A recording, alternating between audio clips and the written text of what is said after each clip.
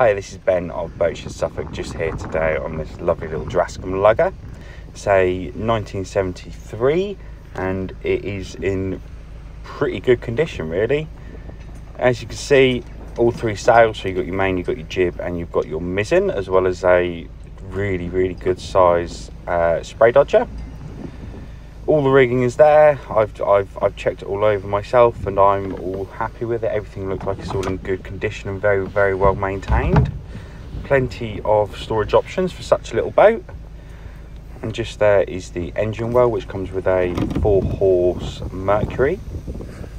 There are covers for mast um, and the rudder as well.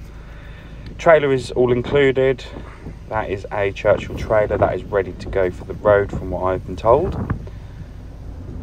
The owner has usually kept her in the water so she is anti-fouled, uh, almost definitely wanting a new coat if you are wanting to keep her in the water. If you'd like any more information, all my contact details are on the boatshedsuffolk.com website. Thank you.